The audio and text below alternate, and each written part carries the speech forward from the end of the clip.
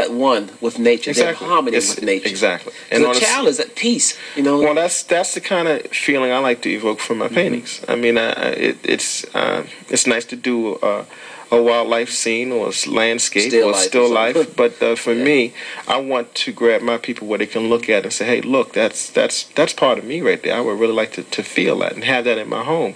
If you had a picture of a pink flamingo or flower arrangement in your home versus this being exposed to your child, which Yes. one would you think would have the biggest impact on their development? well, this would have a Of course. better impact. Because most of us can, in our household, can remember what we had on the walls.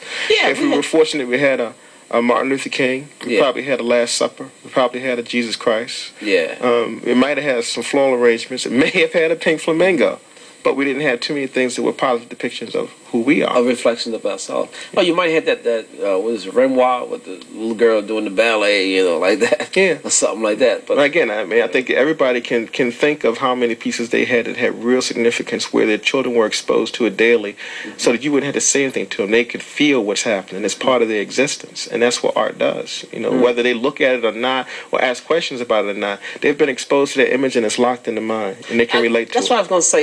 You don't know how important a piece like this is, and the type of work that you do, uh, type of effect, uh, effect that it has on not only grown-ups but children. That goes into the subconscious mind. I think we do because if we look at any cartoon that's on TV and you see how children latch onto the images that we get Yes, on TV they and they carry that for a long time and they, they, they ask for it, they demand it. Well, I feel like the same thing could happen with art. If you start to educate them and, and put the right things around them, they'll begin to seek out those kind of things. What are some other pieces uh, that you've uh, that you've done?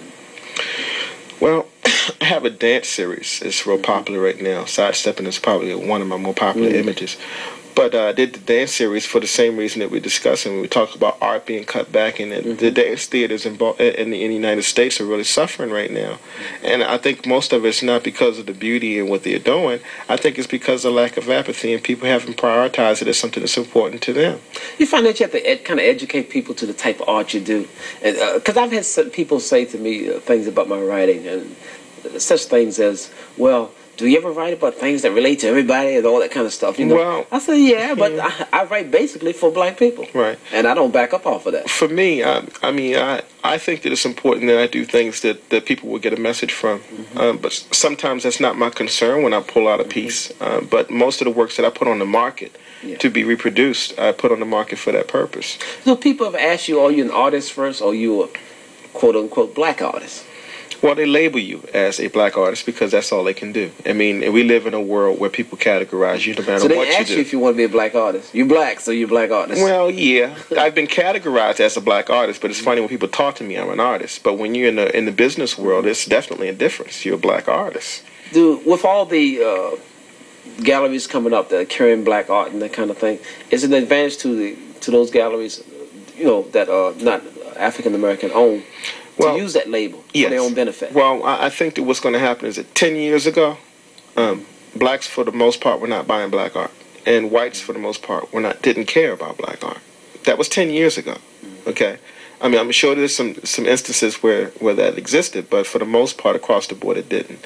Nowadays, it's much different. Uh, black people are going into these galleries saying, "Well, hey, you got some nice stuff here, but do you have anything with African Americans? And do you have any black art?" Okay, and now they're challenged. They either have to go out and stock the store with some of this stuff, or to just say, hey, look, I'm going to be resistant against this. And in most cases, most of them are saying, hey, let me get some of it in here so that when they come back. So, I mean, it's it's twofold now. I mean, the interest is there. We just got to expose people to accepting it. I mean, I, for me, whether somebody buys our piece is not important. It's, it's if they accept it for what it really is supposed to be. Well, you know, the, the thing with me, I guess, is I've been going to art galleries for years, and for years I didn't see any black art at all. Mm-hmm. I used to go look for it. You know, you'd be looking all through all the things, and you wouldn't, couldn't find any. Well, the thing art. is that again, the Depicting difference between black art now and black art then is that it was not it's, it's readily available now, whereas at first it wasn't. Mm. Okay, I think that's one of the biggest things that's going to affect people's uh, uh, attention to it. Um, Do, do you think, like the, the record industry, that uh, other people will get into position where they can control black art and black artists, or or black artists Yeah, take more well- of a business role? art is a billion dollar industry that's untalked about. Even in art school, I went to art college and it still wasn't discussed as to No, you don't hear much the about it. industry. And you don't hear it. It's very it's kept very quiet. Why? Um,